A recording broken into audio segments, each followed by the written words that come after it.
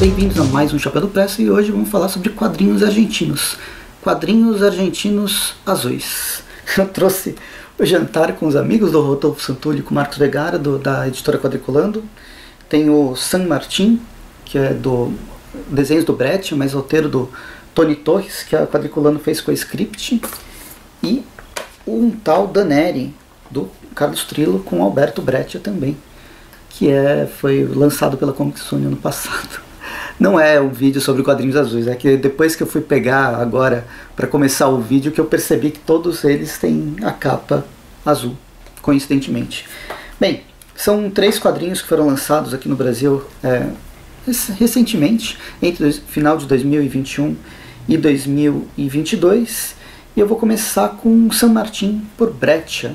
Aqui esse é um quadrinho bem interessante, bem bem diferente, porque uh, quem conhece, Roberto Brecht é um dos principais quadrinistas da, da Argentina, trabalhou ao longo do século XX, e durante os anos 60 e 70, uma das, um dos trabalhos que ele teve foi ser ilustrador, ilustrador de livros infantis ou livros paradidáticos, na verdade, e nesses, nessas ilustrações ele escreveu ou desenhou várias partes da história da Argentina, seja com San Martín, que é um, um, o pai fundador da Argentina, que lutou pela independência da Argentina, não só também Chile, Peru, e aí ele tem uma, um encontro bastante interessante com o Bolívar, que aí você pega a parte mais ao sul, ao, ao norte da América do Sul, e o Tony Torres é um autor atual, ele é um roteirista atual que fez, se debruçou em toda a produção do, do Breccia, que está organizada, está né, tá tudo arquivado pela, pela filha do Breccia, e foi catando todos os desenhos possíveis, todas essas ilustrações para compor uma história que seria uma história biográfica do San Martín. Então, é uma, foi um projeto bastante ousado, bastante interessante de recuperar ilustrações perdidas entre aspas em várias em vários livros para transformar ele numa revista em quadrinhos. E aí o roteiro é do Tony Torres. Bem, é bem interessante esse background, essa história por trás de San Martín do Brecht. Isso aqui foi lançado na Argentina em 2021, então é super recente. Foi um trabalho de 10 anos do Tony Torres, que é um quadrinista, já trabalhou tanto para o mercado argentino quanto para o mercado estadunidense, por exemplo. Para DC, se não me engano, ele tem alguns trabalhos e que durou 10 anos para fazer essa, essa recolha das, das ilustrações, a escolha. Ele funcionou, ele é o roteirista, né? Ele faz o roteiro, mas além de roteirista, praticamente, se fosse no cinema, ele seria o diretor e também participaria da montagem do filme. Então é um projeto ousado, interessante, que é um misto de resgate com um ineditismo. San Martin também acaba entrando numa, na mesma linha de outras biografias que o Brett já tinha feito. Ele fez sobre a Evita e sobre o Che. Os dois eu tenho vídeo aqui no canal de quadrinhos que eu tinha comprado lá na Argentina e o, o Brett, o, o Che, inclusive, foi lançado recentemente pela própria Comics, pela Comic Zone, né, do tal Daneri. E que, bem, esse é o background. E aí a gente tem artes bastante variadas do Brecht, sempre com esse traço muito, nesse caso, como era para um, um, livros didáticos, livros paradidáticos, o, o traço é super realista, super é, atento às, aos detalhes e tal, e que é bem, bem bonito. A arte, na verdade, é o que mais vale, e o Tony Torres ele teve uma desculpa para juntar, né, ele criar essa história do San Martín foi uma desculpa para juntar essa, essa arte perdida do Brecht. Mas aí a gente tem um problema. Como um livro ilustrado e como uma biografia, talvez ele funcione. Como projeto, iniciativa, foi super interessante. Mas como quadrinho, ele é bastante deficitário. O que acontece de diferente do que o Brecht tinha feito em Che e Evita? Bem, em Che e Evita a gente tem um quadrinho feito para ser um, um quadrinho, né? Uma, são biografias quadrinizadas, mas foram pensadas dessa forma, ainda que exista muito texto em, em uma parte ou em outra, como eu falei naquele vídeo passado, nesse daqui isso nunca foi pensado para ser quadrinho, são ilustrações que o Tony Torres conseguiu com uma maestria surpreendente trazer uma narrativa, mas a narrativa que amarra tudo isso é o texto dele que ele eu não sei, ele é um roteirista, então ele já trabalha com roteiro, ele sabe como trabalhar com roteiro, porém, talvez com medo de mexer com dois grandes ícones da Argentina, que é o San Martín e o Breccia, ele não se mostrou como roteirista e simplesmente fez um enorme catadão de, de um texto bastante frio, enciclopédico, da biografia da história do San Martín, que aí compõe esses quadros, esses, esses blocos de textos enormes, blocos de texto completamente sem poética, que prejudica muito o ritmo. É como se a gente estivesse lendo, na verdade, uma enciclopédia mesmo, e uma enciclopédia antiga, fria, praticamente positivista, de um evento, de, de uma, da história de uma pessoa que é trazida de uma maneira bastante seca, não, não sei se exatamente objetiva, já que se passa por vários e vários e vários momentos, são 80 páginas que num, num, quadrinho, se existisse a proposta de fazer uma história em quadrinhos mesmo, e precisaria de mais quadrinhos para se compor isso, seria uma, um calhamaço de mais de 300 páginas, talvez, para contar a grande história do San Martín, que é um cara muito importante, ele passou por vários momentos. Aqui está retratado isso, mas a forma como está retratado, pensando numa história em quadrinhos, eu acho que é bastante deficitária. Então eu fico nessa, nessa dúvida se eu gosto ou não gosto. Eu acho que como projeto, como iniciativa, e para ver toda a arte do Brett, inclusive tem uma galeria de, de desenhos também que não foram colocados, não foram escolhidos para compor a história que são muito legais. Mas como eu disse, esses blocos frios e conteudistas da história do San Martín, ele prejudica a leitura. Ele traz uma, uma ideia bastante bastante fria. Acho que fria é a palavra. Ela peca, acaba pecando no ritmo e ela é excessivamente enciclopédica. Enfim, não foi das melhores das melhores leituras, embora eu já tenha lido as histórias, biografias do San Martín no formato de livro e elas, os autores souberam trabalhar de uma forma mais é, mais palatável para a leitura.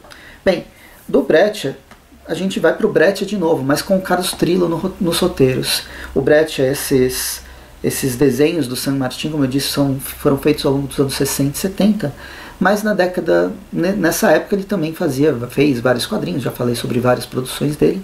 Uma delas foi um tal Daneri. O tal Daneri conta a história de um detetive numa Argentina bastante decadente dos anos da é, foi publicado entre 74 e 78. Então a gente vem ver uns momentos onde a política da Argentina estava entrando numa certa, num grande atrito, pensando que a América inteira já estava sendo influenciada pelo, pelos Estados Unidos. Aqui no Brasil a gente estava passando por uma ditadura militar e 76 a própria Argentina recebe um golpe militar e a gente tem a ditadura a ditadura imposta pelo, pelos militares lá com aval, com ajuda do próprio Estados Unidos. Então, o, um tal Daneri o Carlos Trillo e o Alberto Breccia, eles estão desenhando uma história, desenhando um momento que está nessa transição já para a decadência da, do período mais obscuro que a gente tem no século XX na Argentina e em toda a América. Bem, a gente vai acompanhar um detetive, um detetive que provavelmente foi um policial aposentado, a gente vê ele tem algumas relações é mencionado de certa forma que ele tenha um certo um, um, certo status entre os policiais e entre outras pessoas, mas agora ele trabalha numa linha tênue de do crime, uma cidade e o local onde ele está, a gente está em Buenos Aires, mas nas áreas mais afastadas, no subúrbio de, de, de Buenos Aires, em especial, passa bastante no bairro do Matadeiro. Bairro do Matadeiro, não porque as pessoas eram mortas lá, embora elas fossem também, e o crime era bastante forte, mas porque tinha um matadouro municipal desde o século XIX. E esse, esse local atualmente é um ponto turístico, tem, tem feiras, acho que feiras, feiras de domingo lá, se não me engano. Mas nessa época dos anos 70 era, não era um local muito agradável de se passear. Bem, aqui vocês veem um pouco da arte. São pouquinhas histórias de quatro a seis páginas no máximo, foram publicadas em várias revistas, a Megana, a Sancho, a Troia e a Scorpio. É interessante que todo esse clima pesado que o Carlos Trillo traz na composição do personagem, a gente vê também na parte da arte, obviamente. O Brett aqui que está fazendo uma mistura de colagem com aguadas de nanquim, com um trabalho de contraste muito forte que evidencia a sujeira do, do local, a sujeira do personagem, a sujeira dessa época bastante pesada e densa. É interessante. Eu acho que a, parte, o ponto mais, mais fraco é que a revista acaba ficando muito cara. Eu, ela tem 100. Não, não, não chega a 100 páginas. São 60 páginas de quadrinhos, na verdade com várias é, com várias é, páginas de separação, que é uma página inteira preta, que compõe de forma. De, o design muito bem. Faz, faz sentido fechar uma história e, e começar uma outra com uma folha inteira preta. Mas para pro, pro fã de quadrinhos eu sinto que tinha espaço para ter mais histórias, ou pelo menos que o volume fosse um pouco mais barato. Nesse momento que a gente está. Não sei nem se dá para falar muito de revistas baratas. Mas vamos terminar, terminar o vídeo com um jantar com os amigos Rodolfo Santulio e Marcos Vergara. Aqui a gente vai conhecer a história de sete amigos que estão desde a infância, eles se encontram para um jantar e coisas estranhas, o passado acontece. E não, não é uma história bonitinha, agradável, embora tenha momentos de humor, momentos engraçados mas durante, bem, a capa cê, vocês já podem ver, durante a, a história, durante o, logo nas primeiras páginas, a gente vê que o jantar está reunindo um pessoal para encontrar com um cara que acabou de mudar para um apartamento e aí tudo tá bem até que coisas ocorrem. O dono da, do, do apartamento ele abusa de uma das amigas dele e ela, bem, isso acaba obviamente, com o jantar, todo mundo vai embora, e aí a gente vai ver o desenrolar do que dessas, desse acontecimento, com a briga generalizada de todo mundo contra todo mundo. Pessoas, cada um deles é, reagiu de uma forma diferente ao que aconteceu, evidenciando até a babaquice, que esse cara é um, é um idiota, um criminoso há muito, muito tempo. E, bem, ocorre alguma coisa com ele, logo na página 25 aqui a gente tem, são 80, 80 páginas, na página 25, quer dizer, no comecinho, logo depois de todo esse caos do jantar, acontece alguma coisa com ele e isso vai desencadear a, a história que se passa tanto no presente quanto no passado, tanto no, na narrativa é, na, na, na, narrativa principal quanto com flashbacks, um amarrando o outro, compondo esse esse quadro que nem os próprios amigos sabiam que, que ocorria entre eles. Né? Cada, um, cada um de nós temos nossos grupos de amigos e a gente não conhece 100% de todos os encontros que a gente teve com esses amigos. Não vou dizer, eu espero que os meus amigos não cheguem nessa, nessa situação apresentada aqui. Mas, por bem ou por mal, cada um tem percepções e tem costumes e coisas diferentes acontecem conosco mesmo quando a gente está junto. E essa história, o Rodolfo Santolio e o Max Vegara, eles vão investigar cada um dos acontecimentos individuais que vão estar tá amarrando e vão meio que explicar qual a situação atual desse grupo, combinando numa viagem que eles sempre quiseram fazer, principalmente esse esse carinha babaca do dono do apartamento, que eles nunca fizeram no fim, mas termina com eles, é, encerra com eles chegando e fazendo esse, essa meio que despedida em El Calafate, lá eles vão para o glacial do Perito Moreno, que fica no, no sul da Patagônia. Enfim, é uma história legal. É, acho que o, o que mais me chamou a atenção é que, para mim, é completamente reprovável várias vários do, das ações individuais dos personagens. Tem uns que, putz, dá, dá dó mesmo do que acontece com eles, mas o grande lance é esse, esse jogo que o Rodolfo, Rodolfo Santolio traz de surpresas. É, realmente é surpreendente, cada página que a gente vira tem uma nova revelação que você pode ficar puto e realmente são coisas não, não legais de se acontecer, mas isso vai mostrando os, os bastidores dessa, desse grupo de amigos. Bem interessante, isso aqui foi lançado em vários, em vários países. A gente tem na edição francesa, edição argentina, edição estadunidense e agora edição nacional. Isso foi lançado inicialmente em 2009. É uma produção é, tanto é, de duas, duas editoras, da Argentina e do, do Uruguai. O Rodolfo Santoro, inclusive, ele é, ele é mexicano, mas mora desde sempre no Uruguai. E o Rodolfo Vergara, ele é da, ele é da Argentina mesmo.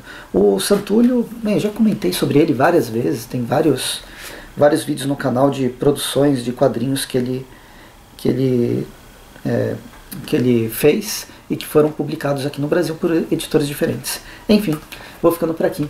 Esse foi Jantar com os Amigos, um tal da Neri, e San Martin por Breccia. Duas obras históricas, praticamente, do Alberto Breccia. Essa aqui é, uma, é um intermediário de histórico com, com o atual, pelo menos na concepção, é mais como um, um projeto, projeto científico, um projeto de literatura, o tal da Nero, e a obra mais, mais recente, que é o Jantar com os Amigos. Enfim, espero que vocês tenham gostado do vídeo, curtam o vídeo, assinem o canal, assinem o Chapéu do Preço no Facebook, me sigam no Instagram, no arroba onde falo sobre filmes e séries todos os dias com resenhas novas. Tem também Fortaleza Quântica, que é um podcast onde eu amigos meus a gente fala sobre filmes, séries, quadrinhos, faz entrevistas, faz listas. Bem, todos os episódios são de certa forma temporais, porque tem várias recomendações que vocês, vocês podem ler e, e procurar para assistir a qualquer momento. Procura no Spotify, procura no Courage.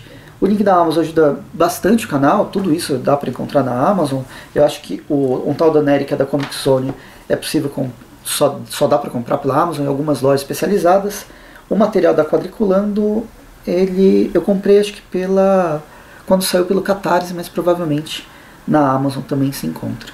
Enfim, é isso. Comentem se vocês já leram alguma dessas obras, conhecem esses autores, a gente conversa nos comentários, a gente se vê no próximo episódio. Até mais e bons quadrinhos.